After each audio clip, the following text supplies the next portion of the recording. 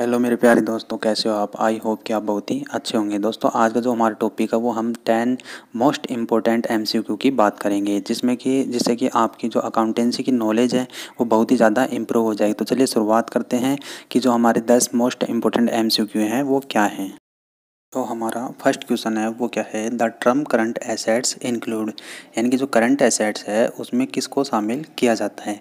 तो इसमें जो हमारा करेक्ट आंसर है, वो है ए डेटर्स जो हमारे डेटर्स होते हैं, उनको करंट एसेट्स माना जाता है।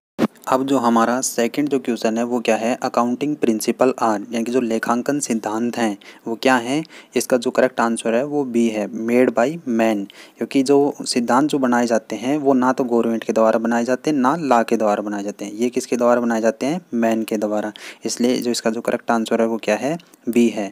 अगला जो हमारा क्वेश्चन है, वो है जो थर्ड नंबर का जो क्वेश्चन है as per dual accept concept जो हमारे डुअल एक्सेप्ट कॉन्सेप्ट है, उसके अनुसार जो हमारी इक्वेशन है, वो क्या है? तो इसका जो करेक्ट आंसर है, वो हमारे पास में है सी जो हमारी इक्वेशन होती है, वो क्या होती है? Capital plus liability is equal to assets हमारे जो अब फोर नंबर का जो क्वेश्चन है, वो क्या है? Personal accounts are related to जो हमारे व्यक्तिगत जो खाते होते हैं, वो किससे रिलेट करते हैं? तो इसमें जो हमारा करेक्ट आंसर है, वो है बी और जो हमारे पर्सन होते हैं फर्म एंड कंपनी जो होती हैं, उनसे रिलेट करते हैं हमारे पर्सनल अकाउंट हमारा जो फाइव जो क्वेश्चन है, वो क्या कहता है? Real accounts are related to जो हमारे वास्तविक जो खाते होते हैं, वो किससे रिलेट करते हैं? इसका जो आंसर है करेक्ट आंसर वो हमारा डी जो हमारी एसेट्स होती हैं, जितनी भी एसेट्स होती हैं करंट नॉन करंट जितनी भी एसेट होती है, वो हमारे रियल अकाउंट के अंडर में आती है। तो हमारा क्वेश्चन है, उसमें पूछ रहा है गुडविल अकाउंट जो हमारे ख्याति है, वो कौन सा खाता होता है?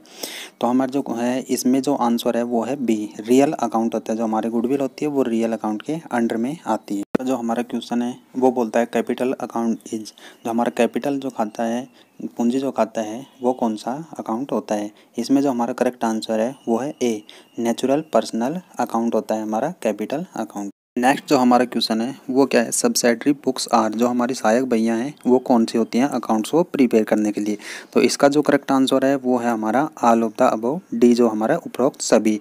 क्वेश्चन जो हमारा है, वो बहुत ही मोस्ट इंपॉर्टेंट क्वेश्चन है कि परचेजेज जो बुक होती है, उसमें किसका किसको रिकॉर्ड किया जाता है? इसका जो करेक्ट आंसर है हमारा B credit purchase of goods जो जितनी भी जो हमारी उधार की जितनी परचेज होती है, वो भी रिलेट करते हैं गुड्स से तो वो हमारी किसमें की जाती है? परचेज बुक में रिकॉर्ड की जाती है। अब जो हमारा लास्ट जो क्वेश्चन है, वो है ए लेजर मेंटेन्स जो हमारे खाद्य बही में कौन से अकाउंट्स को लिखा जाता है? तो इसमें जो हमारा आंसर है करेक्ट आंसर है D all of the above जो हमारे पर्सनल रियल नॉमिनल सभी अकाउंट्स को खाता बही में लिखा जाता है लेजर में मेंटेन किया जाता है।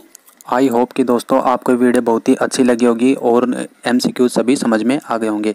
ऐसी और भी वीडियो पाने के लिए हमारे चैनल को सब्सक्राइब कर दीजिए।